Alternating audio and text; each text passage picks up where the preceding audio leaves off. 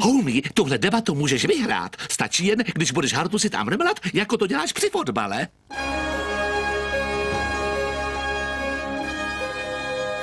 Jo, jo, jasně. E, za pět sekund jedem. A jsme zpátky s Homerem Simpsonem, ze kterého se stane vlhká pemprska vyhozená na kraj americké historie za tři, dva...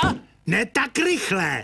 Hele, možná, že nejsem napulírovaný televizní řečník, ale mluvím za obyčejný lidi, co flákají svou práci, chodí dvakrát ročně do kostela a koukají na ženský tenis, protože se jim líbí, jak přitom hekají. Vsadím se, že kameraman Chuck a zvukař Steve vědí, o čem tu mluvím. Jo, přesně o tom mluvím. O skutečných lidech, co si kupují kafe v minimarketu a nakradou si přitom cukr na celý týden. O poctivých, pracovitých amerických zlodějích.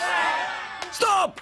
Neši, mám strach. Najdi mi bohatého ženícha a rychle. Táti, ty jsi ukecal mluvící hlavy! Od teďka už budu přiznávat, že jsi můj táta, když se mě někdo zeptá. Ach, synu, teď mě mrzí, že jsem tě pomlouval před tou holkou, co se ti líbila. Homre, to, jak jste právě znemožnil našeho moderátora číslo jedna, bylo fantastické. Jste přesně ten typ špatně informovaného vidláka, kterých nemáme nikdy dost. Máme jich jen jedenáct a to nezmiňují našeho zeleného liberála. Cíl u nás je ve straně zvyšovat lidem daně a každý ať je gay. Ale pořád nám chybí někdo, kdo by oslovil obyčejné američany, buranské balíky, venkovské vidla.